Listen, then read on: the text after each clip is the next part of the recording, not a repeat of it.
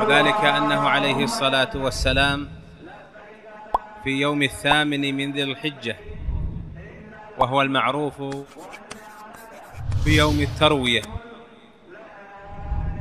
وقد سمي هذا اليوم يوم التروية لأن الحجاج يتروون فيه الماء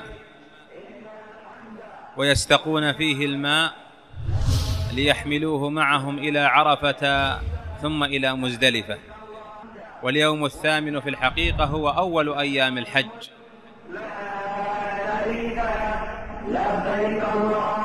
يستحب التنظف والاغتسال وأن يأخذ المحرم ما زاد من شعره وظفره من أبطيه وعانته إلا إذا كان يريد أن يضحي عند أهله فإنه في الثامن من ذي الحجة لا يأخذ من ظفره ولا من بشرته ولا من شعره شيئا لأنه سيضحي.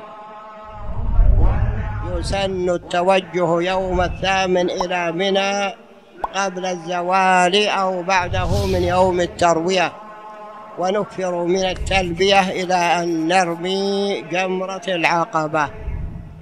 فإذا توجهنا إلى منى يوم الثامن نصلي بمنى الظهر والعصر والمغرب والعشاء والفجر. والسنة أن يصلوا كل صلاة في وقتها قصرا بلا جمع إلا المغرب والفجر فلا يقصران.